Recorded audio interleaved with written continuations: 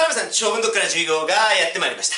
皆さん、以前からお伝えさせていただいていることなんですが、皆さん、大切なのは、皆さん、言い換えを探すことですからね。えー、長文読解では言い換えが重要というところです。そして、その言い換えはじゃあ、どっから見つかるんですか？って言われたら、皆さん、一文の後半、後半をしっかり見てくださいね。そして、それをもう少し詳しく言うと、この辺りですね。えー、そして、さらに、この辺り。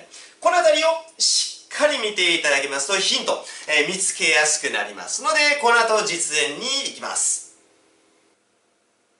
さあ皆さん学習院行ってみたいと思います。皆さん学習院はですね、えー、空小10問題5問ございます。これを皆さん、えー、順番にやっていきますね。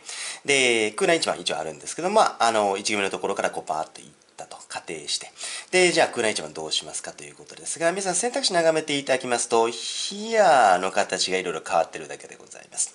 でもちろんヒア動詞ですので、自動詞なのか他動詞なのかということなんですが、もちろん聞こえたよ何をってことですので、皆さん他動詞でよろしいかと思います。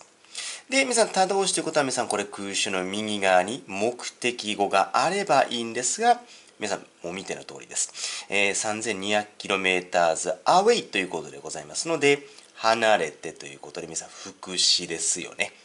ということで皆さん、他動詞の後ろに目的語は必要。つまり名詞が必要なんですが、あるのは副詞だけということです。ですから、他動詞の後ろに目的語がない場合は、受動体にしましょうねということでしたね。ですから、文法的側面から受動体、つまり答えは2ということでよろしいかと思います。これ皆さん知識問題ですね。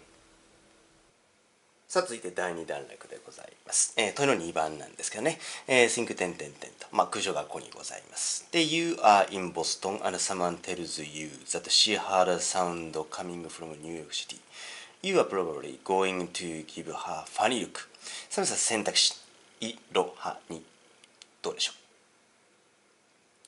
で、もちろんあれですよね。ヒントは、ここ。皆さん、you are 現在時制ですね。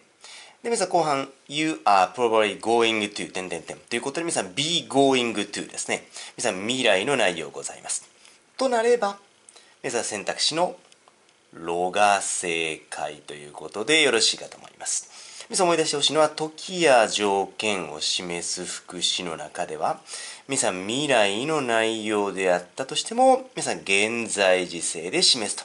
あの時制の文法項目使えますよね。これも知識問題ということでバッチリでございます。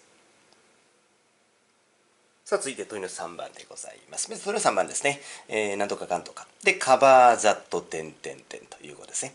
で、まあもちろん選択肢眺めていただけるとおってなる可能性が高いんですが、皆さん、カバーですね。もし知らなければ後でまとめますので、少々お待ちいただきたいんですけど、皆さん、カバーですね。距離を進むという意味、品質ですからね。ですから、ざっと点々点と言われたら、皆さん、距離を進むお話でございますので、これですね。ディスタンス、距離が正解ということでいいかと思います。もちろんこれも知識問題、単語の知識問題ということでバッチリです。さあ続いて第3段落問いの4番でございます。もちろんあの子読んできてですね、えー、空襲4番ということです。さあ皆さん選択肢、いろはに。もちろん twice がいますからね、数字がございますので正解は2。ということでいいかと思います。モアザンですよね。うんたらかんたら以上ということで、これも知識問題でバッチリですね。さあ皆さん、最終段落でございます。えー、皆さん、空所5番でございます。えー、左側、This is so なんとかなんとかラウドで、えー、もちろん、まあ、あ大きいんですね。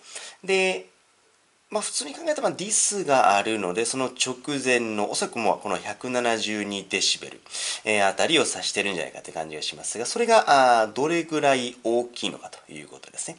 さあ、皆さ選択肢、眺めていただけると嬉しいかと思います。いけそうですかね。でもちろん、あの、出だし、The loudest the human ear can bear is 130dB ということで、えー、まあ、耐えることができる音量ですかね。えー、それが、まあ、130デシベルということです。で、それに比べると、皆さんこれ172以上ですね、のデシベルなんですから、まあ、どれだけ大きいのかと言われたら、もちろんいいですよね。アストニッシングに驚くほどということでよろしいかと思います。ですから、えこれは皆さん知識ではなく本文の内容を考えて、え解くという感じになるかと思いますが、え根拠となったのは、まずは this が指しているこの辺りですね。そして皆さん比較対象としたのはこの辺りでございました。で、じゃあ根拠となった箇所どうなってますかっていうと、皆さんこうで言うと B 動詞の右側ですよね。そして皆さんこれオーバー点々点は左側。皆さんアットですね。前置詞の右側。それが根拠となって選択肢の「い」が正解ということでよろしいかと思います。さあさんお疲れ様でございました。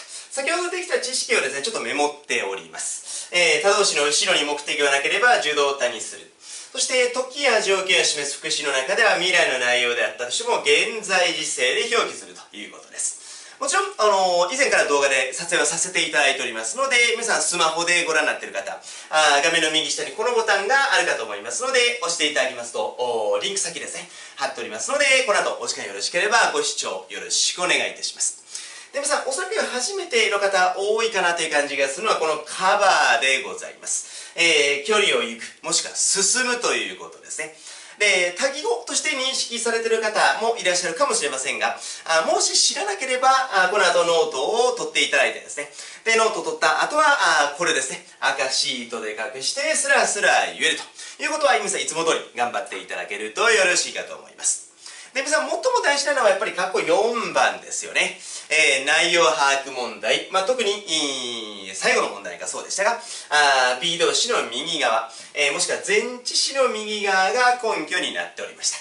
でもちろん大切なのは皆さん自身がですね、試験本番中根拠を見つけながらですね、え解くわけですから普段から練習が必要ということです。